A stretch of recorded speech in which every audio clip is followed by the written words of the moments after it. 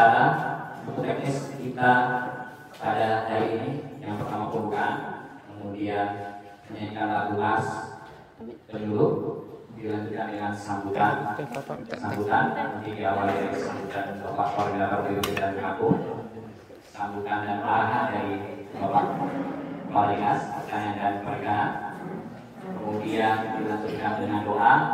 Sahabat Tani, siang ini kita mengadakan pertemuan teknis program kegiatan Dinas Pertanian dan Perikanan Kota Kecamatan di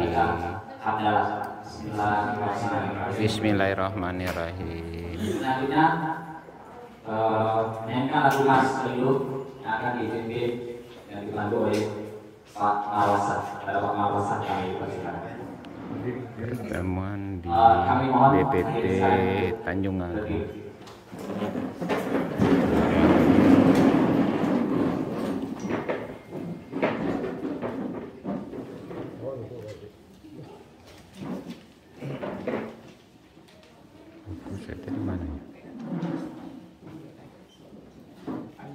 Buku saya tadi di situ.